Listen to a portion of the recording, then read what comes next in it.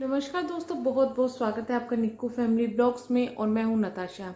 एक वीडियो डाली थी मैंने पहाड़ी फैमिली के लिए, उस पर काफ़ी सारे कमेंट्स आ रहे थे और कुछ मुझे बातें ऐसी भी करनी थी जो कि उस वीडियो में क्लियर नहीं हुई थी। तो हाजिर हूँ मैं उसी वीडियो से रिलेटेड एक वीडियो लेकर।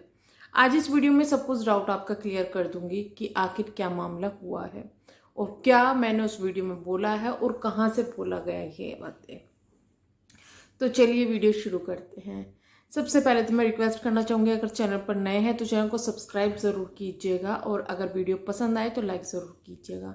बोलती नहीं हूँ अक्सर मैं बहुत कम बोलती हूँ। आज बोल रही हूँ तो कर देना यार प्लीज़ तो मैंने उसमें बताया था कि भाई मामी है जो, पहाड़ी फैमिली वालों की जो मामी है उन्होंने किसी के चैनल पर आकर लाइव में आकर बहुत सी बातों का खुलासा किया है। मैंने वहाँ ये भी कहा था कि मामी ने एक शब्द कहे थे कि मैं भी इनका खुलासा कर दूँगी, इन लड़कियों के बारे में सब कुछ बता दूँगी।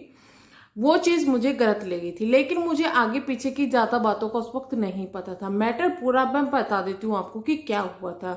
आप लोग मुझसे पूछे थे कि किसकी लाइव है, किसकी लाइव है तो ऐसा नाम तो मैं नहीं ले सकती, क्योंकि हो सकता है कि नाम लूँगी तो शायद जिसको नाम लो उनको प्रॉब्लम हो जाएगी।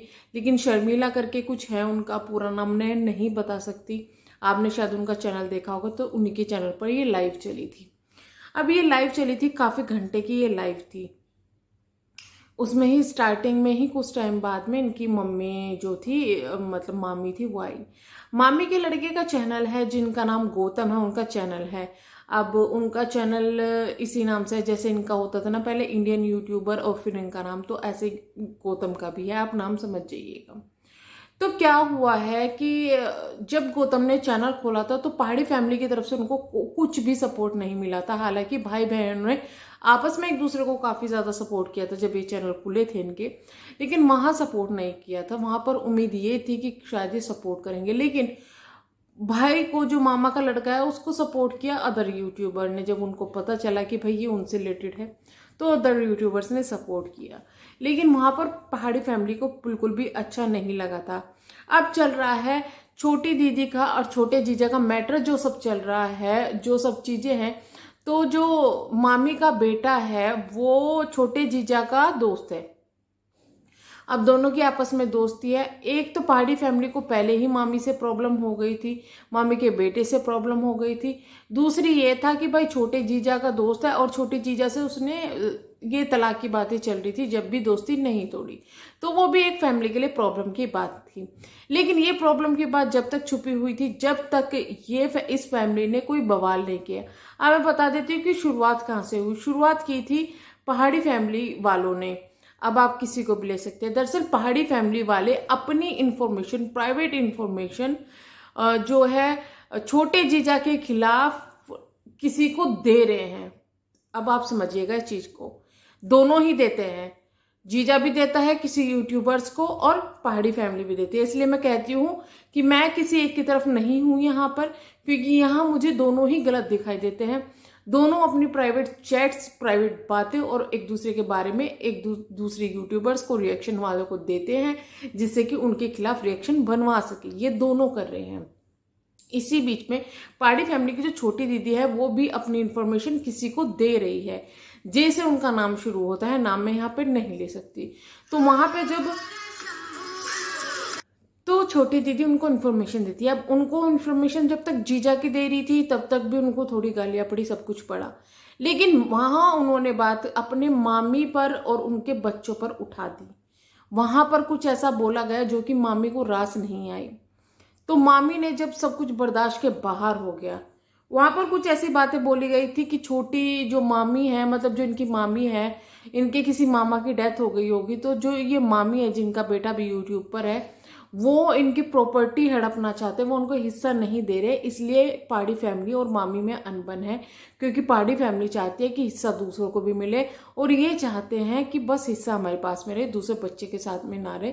ऐसे क्लेम्स किए गए थे इधर की तरफ़ से। तो जो कि मामी ने आकर ठुकरा दिया है कि ये बात सच नहीं है पहाड़ी फैमिली बदनाम करने में लग है। इंक्लूडिंग उनके बच्चों के बारे में भी काफ़ी बातें बोली गई है।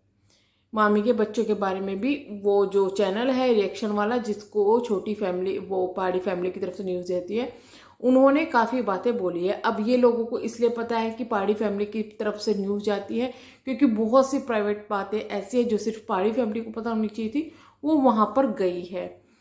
तो इस पर मामी को गुस्सा आ गया। मामी ने अपने बच्चों को तो कुछ नहीं बोलने दिया, लेकिन खुद जो कि इनके खिलाफ, यानी कि पहाड़ी फैमिली के खिलाफ जो चैनल थे, उनकी लाइव में आई। वहाँ पर मामी ने क्लियर किया कि भाई मैं ये सब चीज़ें नहीं बोलना चाहती थी और मैं कुछ भी यहाँ पर नहीं बोलना चाहती थी। लेकिन इन लड़कियों ने मुझे मजबूर कर दिया है। हमने अपने बच्चों को ऐसी शिक्षा दी है कि हम अपने बच्चों को अब भी कह रहे हैं कि उन्होंने भले ही हमें मेरी बेटियों को, मेरे बेटों को, सब, मेरे दामाद को, सबको बदनाम कर दिया हो, लेकिन फिर भी मैं, मैंने अपने बच्चों को इतनी परमिशन नहीं दी कि उनके बारे में कुछ खिलाफ में आके बोले। लेकिन मैं बोल रही हूँ और अब मैं इतनी ज़्यादा परेशान हो गई हूँ कि ये लोग नहीं सुधरे, क्योंकि मैंने इनके लिए बहुत किया है। जब ये छोटे से थे, छोटे से से मैंने पाला है, बहुत किया है। लेकिन अब अब अगर ये इस तरीके की हरकतें हमारे जो फैमिली है, उनकी मैटर को बाहर उछालेंगी और गलत बताएँगी या इन्फॉर्मेशन देगी उस यूट्यूबर को, जिस रिएक्शन वाली को इन्फॉर्मेशन देगी, और रिएक्शन वाली अगर कुछ बोलेगी हमारी फैमिली के खिलाफ तो मैं सारी पोल खोल दूँगी लड़कियों के बारे में। तो ये पूरी बातें थी जो मामी ने कही। बाकी मामी ने ऐसी कुछ पर्सनल इन्फॉर्मेशन लीक नहीं की। मामी ने कहा क्योंकि मैं इनके बारे में सब कुछ जानती हूँ। मैंने इनको पलाया, पाला है और इसके बाद में मामी की लाइफ काट दी गई। यानी कि बच्चों के द्वारा मामी की लाइफ कटवा दी गई। मामी ऑफलाइन चली गई। तो ये था पूरा मैटर जो हुआ है इनके बीच में। और आपको मैं एक बात बता दूँ अगर आप इनको स्टार्टिंग से देख रहे हैं या नहीं भी देख रहे हैं अगर मैं हूँ न्यूट्रल किसी को रिएक्शन दे रही हूँ, मैं ना तो इस तरफ़ हूँ, ना इस तरफ़ हूँ तो इनमें से कोई सा मुझसे कॉन्टेक्ट नहीं करेगा। लेकिन मेरी कुछ फ्रेंड्स ऐसी हैं जिनको, छोटे जीजा की तरफ़ से कॉन्टेक्ट हुआ और कुछ ऐसी हैं जिनको जो है पहाड़ी फैमिली की तरफ़ से कॉन्टेक्ट आया है। तो ये लोग ये काम करते हैं। अब जिसको ये लग रहा है कि एक फैमिली सही है, दूसरी नहीं है, नहीं, दोनों तरफ़ से हो रहा है। लेकिन हाँ ये जो बदनाम करने का सिलसिला है, ये जब सिलसिला है ये कहीं ना कहीं पहाड़ी फैमिली की तरफ़ से शुरू हुआ था। लेकिन मैं ये भी नहीं कहूँगी कि भाई बंकुश ठीक है, वो भी कुछ कम नहीं है। मतलब चोर के धर में तिनका वाला काम है। लालच में शादी हुई थी, जिसकी ये बुरी बला हुई है, जिसका ये अंजाम हुआ है। कम कोई भी नहीं है। बहुत सी सीक्रेट ऐसी बातें हैं जो कि छुपाई जा रही हैं। हम भी नहीं बता सकते, क्योंकि मैं वो बातें नहीं उछालती हूँ, जो कि किसी की लाइफ नहीं आई है। और अगर वे बातें सामने आई तो इनकी दोनों की ही लाइफ बर्बाद हो जाएगी। इधर भी और उधर भी लाइफ बर्बाद हो जाएगी बेज्जती हो जाएगी। तो इसलिए हम लोग ये बातें नहीं उछालते, लेकिन जो इस तरीके की प्राइवेट बातें किसी के अगर उछाल रहे हैं तो वो हम गलत मानते हैं। जब तक वो खुद सोशल मीडिया पर आकर नहीं बोलते, वो दूसरों से बुलवा रहे हैं, और इसी वजह से, क्योंकि अब लोग अवेयर हो गया पता चल गया है तो इसी वजह से स्ट्राइक दी जा रही है चैनल उड़वाए जा रहे हैं लोगों के।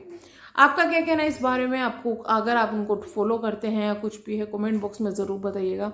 मिलते हैं नेक्स्ट वीडियो में, तब तक के लिए बाय बाय प्लीज़ चैनल को सब्सक्राइब वीडियो को लाइक ज़रूर कीजिएगा। Thank you so much